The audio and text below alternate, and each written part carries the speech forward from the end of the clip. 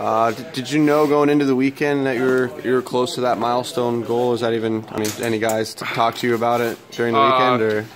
You know, I think uh, haven't scored in a little while, so um, you know that. Uh, I think that aspect was on my mind, obviously, but you try not to get focused on that stuff. But uh, definitely had no focus on trying to beat any personal records or, or anything like that. But um, you know, I think kind of leading back to feels like a while ago now. Last time I scored, um, you know, someone mentioned something, but uh, when it happened, I didn't even know. So. Uh, you know, it was just uh, felt more important to get the win oh, and uh, to be able to contribute, obviously, and uh, kind of get back on track. So, uh, kind of finding out that stuff feels felt like a lot of bonus, and uh, you know, it was nice, obviously, to be rewarded for uh, you know not just contributing in the game offensively, but hitting a milestone like that. Have you ever been on a pairing where you and your partner score combined five goals in one game? That's I don't think that happens too often. oh, that was that was definitely something special. It kind of attributed to how the game went, or, or at least how it felt. It was a pretty crazy game. You know, uh, LT going down um, early in the game. You know, first 10 minutes I think.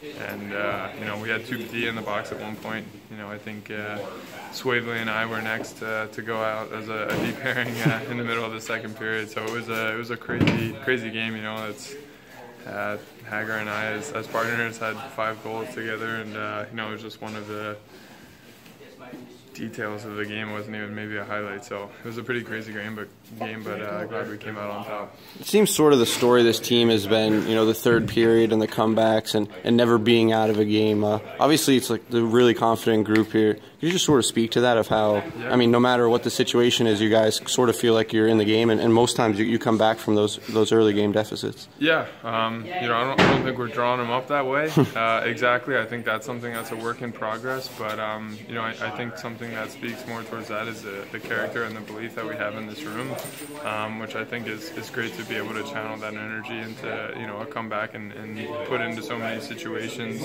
um, second period, third period comebacks, or you know wh- whatever we need to do in whatever situation we're in to be able to, to fight our way out of it. Um, I think the next step from there is learning how to you know play with a lead and start with a lead there, but like I said, it's the whole process and, and we're learning as we go here and um, you know it's uh, it's it's a great quality to have, in my opinion, to find a way to win in whatever situation. And uh, you know, they don't ask how, so uh, might be giving coach a little heart, uh, a heart attack. Uh, you know, every time we're we're going into the third down or something. But you know, I think it speaks more. Um, more to our team and the character that we, we've built here, um, you know, throughout this whole season and the adversity that we've had to fight through this year. So, um, you know, there's a, a really big and, and, great belief and real belief, you know, within this locker room. And, know, I think after a weekend like that and a, win like that in Utica, it uh, kind of speaks to us, and everyone takes a positive from that and can take that moving forward, and hopefully take that into the end of the season and into playoffs.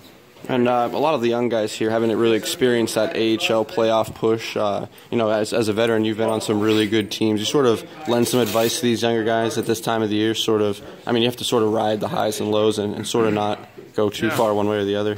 Yeah, for sure. Um, you know, I haven't been on a championship team yet, so um, I'm still learning myself. But uh, I think one of the, the most common things, um, you know, and, and, the biggest example that you could do, um, or, or, that speaks for itself, is kind of just going through everything together and kind of talking about stuff and getting everything out the open, having an environment where everyone feels safe and comfortable. And there's going to be those low times. You know, it seems like the past uh, little bit we've not been struggling, but haven't been playing as as well as we've been capable of. But you know, everyone's uh, aware of that and uh, understands that. And sometimes you're just not going to feel that great. And you know, not only is that hockey, but it, it feels like life too. So um, you know, those are real things that I think uh, don't just come easy and all of a sudden they just wake up and they go away. You know, you have to fight through that and come together as a team. And it seems like that's what we've been doing and, and building that and getting more guys on that. And it seems like a, a process that you know, so-called younger players, um, you know, someone like myself can have, have learned throughout the years and can kind of implement that on younger players to understand that it's not an easy process and